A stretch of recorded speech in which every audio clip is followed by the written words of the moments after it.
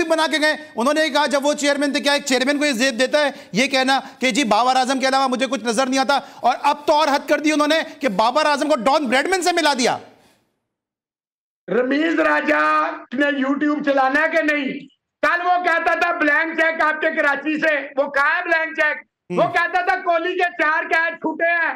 कोहली कोई प्लेयर है। वो ये कहता था इंडिया के साथ हम नहीं खेलेंगे।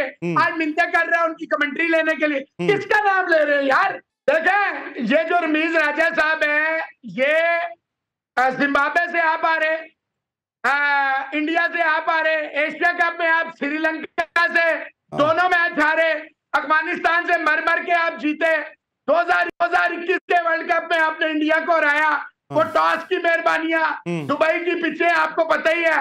फिर जिस तरह हमें न्यूजीलैंड को हमने हराया फिर सेमीफाइनल में हमारे टॉप स्टार शहनशाह अफरीदी साहब रह गए। देखे बात ये अली सलमान साहब आप जो बॉलर है वो अगर एक आध छक्का चौका लगाए थैंक यू वेरी मच भाई उससे बॉलिंग करवाए।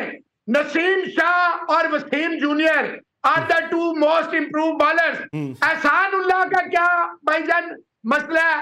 इसको किस लिए?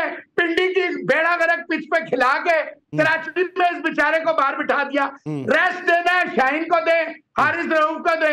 आप रेस्ट उसको दे। जिसने इतना शानदार अभी अभी अफ़गानिस्तान के खिलाफ विकेटें लेके आया पीएसएल अच्छा खेला।